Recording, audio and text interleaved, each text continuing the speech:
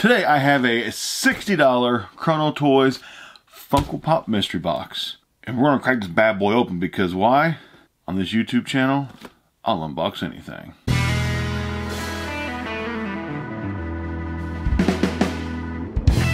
So today on at Franchise TV, there's a total of four mystery boxes in one box. What this is, this is the damaged New Year's Eve mystery box. So since it's damaged. Some of these pops can have some minor damage to them. Will they just be totally trashed? I highly doubt it. Chrono Toys usually doesn't send them out completely trashed. There could be some damage on them. Creases, probably some dog-eared corners, you know, stuff like that. So each one of these was $15 a piece, limit of four per person. Total of 60 bucks plus shipping. Shipping was probably like 15 bucks. So this actually probably cost me, I bet you around $75 total, more than likely. With shipping, probably about 75 bucks shipped for all four of these pops. So I've had this thing now at least a month, but that's okay. We're to do it right now, today. Let's see what I got in this. So Chrono Toys, I really enjoyed their mystery box in 2020. For the price point, they have decent value for the price point. You won't always get a big grail. You can't expect it, especially at $15 a piece. But you do have the possibility of getting out more in value than what you paid.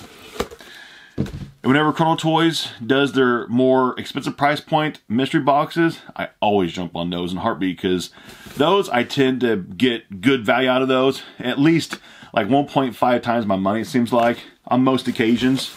Not always, most occasions. They're individually boxed, so that is nice that they did that.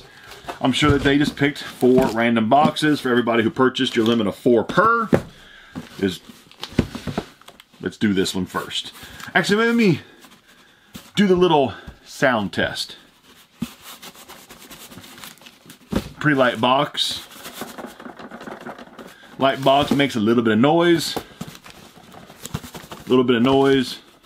A little bit of noise. Let's do the quiet box first makes like no noise. So with Chrono Toys, pretty much, if it's in a pop protector, just like a soft protector, you got a pretty decent hit.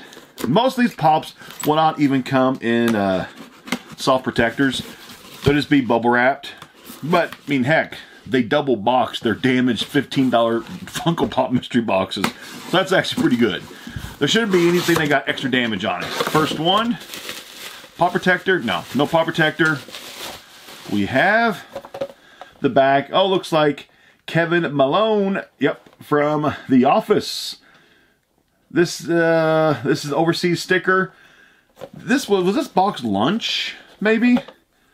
The overseas. I've, this might have been BoxLunch exclusive originally, but it's the overseas sticker.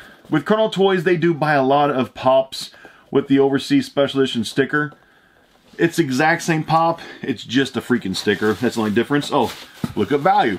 We're gonna look at the Whatnot app for value. Whatnot will tell you the PPG value, and if you don't want the pops, you can sell them straight on the Whatnot app. Oh, this does not have a value. Must be really new then. So I'm gonna say this is a store exclusive. I'll just say we broke even on this first one, $15. I think it's like BoxLunch. So first one we're just gonna say like like 15 bucks. So these are not coming pop protectors, but whenever I sell these in my future Whatnot auction, all these pops will be placed in 7 bucks pop pop shield pop protectors. My pop protector of choice, directly down below, 7bucksapop.com. Next one. Let's see. We'll just keep moving down the line. Next pop. Hopefully, hopefully we get like one that's like worth, let's say, 30 bucks. That's that's our goal. One of these $30. If we get that, this will be a success. But the price point of these, you know, they were very, very cheap. Actually, the first one, I forgot to mention, it wasn't damaged at all. So even though this is a damaged mystery box, a lot of these will have possibly minor, minor damage on them, if any at, at all. Some will probably have some damage on them, though, obviously. Next one. Oh, sweet. This is the original Venom, the blue box. This one actually is a Hot Topic exclusive. Got the overseas sticker on it. A um, little bit of damage on top of the box, a few creases. Um, yeah, this yeah this is the Hot Topic exclusive one. It just this actually was like a Hot Topic Grail for Marvel for several years, And in 2020, Hot Topic restocked a whole bunch of their older exclusives, including this blue Venom. It kind of hurt the value of it a little bit when they did that. But we all know with Hot Topic, we expect Hot Topic to never really vault their pops, their exclusives. They're just going to keep restocking them because, I mean, they've got to make money too. And they paid for the mold. They had to probably pay for 50,000 of them. If they can redo them every two or three years, re-release them, they got to make their money. So this is actually, okay, sweet. Uh, estimated value of 20 bucks.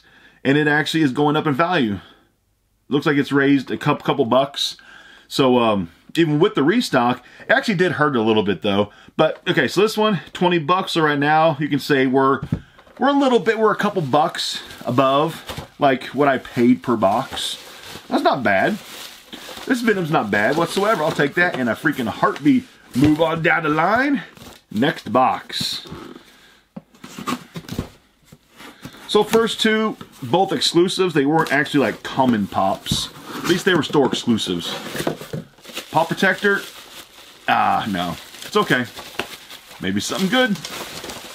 We got, looks like Lord of the Rings, King Aragorn. Yeah, that's right. This actually, I think, is a Barnes & Noble exclusive. I'm pretty sure about that.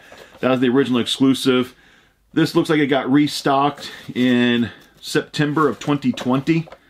They restocked it. Of course, uh, this overseas sticker little bit of creases on top of this box. Very, very light creases. Um, but it's not too bad of damage. The first pop had no damage on it. The past two had some minor like box damage, but it's to be expected in a damaged mystery box. This is a value of, oh, that's nice. 26 bucks it is. Barnes Noble exclusive originally came out in 18. Looks like it restocked in 20. So right now with 26 bucks, we're looking at a total of $61 for the first three. So we actually got back what I paid for the boxes without shipping at this point in terms of value. So this last pop, hopefully it's at least like 15 bucks, which means I'll even get back what the shipping cost me for these four mystery boxes. Here we go, last one. Come on, something good. Last box magic. You ready for last box magic?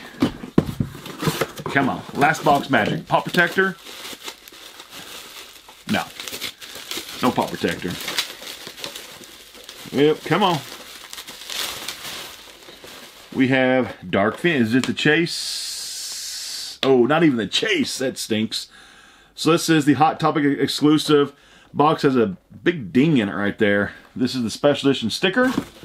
Does it have a chase thing that glows in the dark. PPG value on the Whatnot app. Scan the barcode, it'll pull it up. We're looking at, ooh, $9. That one was, that one was a pretty big loss right there, nine bucks. So that gives a grand total of all four boxes, exactly $70 PPG value. So in terms of what the boxes cost, I'm up $10 of value. Of course, there is damage in these boxes.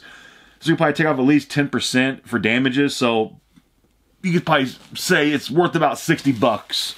So um, I got my money back in terms of value, but I didn't get like even I didn't get my shipping back, which isn't a guarantee or anything. But all in all, these weren't the best mystery boxes, but at least I got my original investment of 15 bucks a piece back. Pretty much.